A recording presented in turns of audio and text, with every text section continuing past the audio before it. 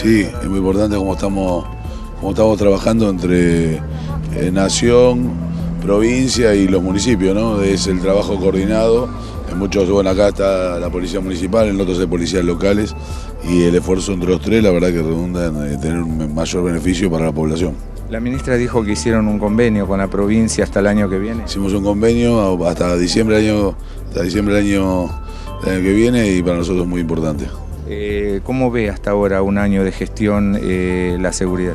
Y muy lejos de los estándares que nosotros queremos, mejorando en algunos aspectos y seguramente muchísimo por, por mejorar para que la gente se sienta más segura, para que la provincia de Buenos Aires sea un lugar mucho más seguro para todos. Eh, un mensaje a toda la población, Canal Provincial. No, que saben que el, el, compromiso que tiene la gobernadora María Eugenia Vidal, el presidente, la ministra Burrich y nosotros en trabajar día a día para mejorar la calidad de la resolución de la, de la problemática de la seguridad.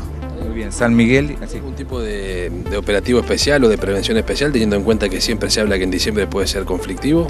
No, tenemos la, la tranquilidad de trabajar eh, en, en, los sectores sociales, eh, de, de, estar cumpliendo con, con, las expectativas y esperamos, como siempre, que tengamos una, una feliz Navidad, un feliz Año Nuevo y que terminemos muy bien el año piden el traspaso de la policía local bajo su órbita, digamos, sobre todo intendente del peronismo.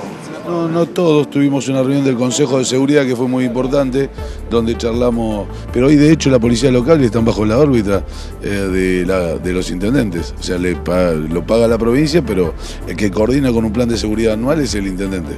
¿Hay una reestructuración general eh, en el servicio penitenciario? Sí, un gran trabajo que está haciendo el ministro Gustavo Ferrari en una reestructuración para, para el servicio penitenciario. Creo que era una deuda de la democracia meterse en el servicio penitenciario. ¿La calificación y evaluación del personal de servicio?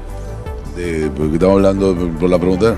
Sí, sí, sí, sí, sin duda constante y bueno, este, la verdad que ya más de 14.000 hombres y mujeres hicieron curso este año de recapacitación, pudimos saldar alguna deuda de recategorización que había y ahora este, hoy mismo está haciendo el GAT y el GPM, o sea, el Grupo de Apoyo Departamental y el Grupo Policía Motorizado, curso de recapacitación en la Bucetich.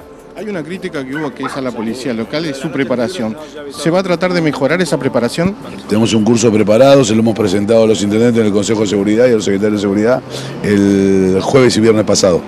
¿Y eso cuándo comenzaría? Y comenzará en enero, tenemos que ponernos de acuerdo en alguna porque se van a unificar policías comunales con policías locales en, en varios distritos.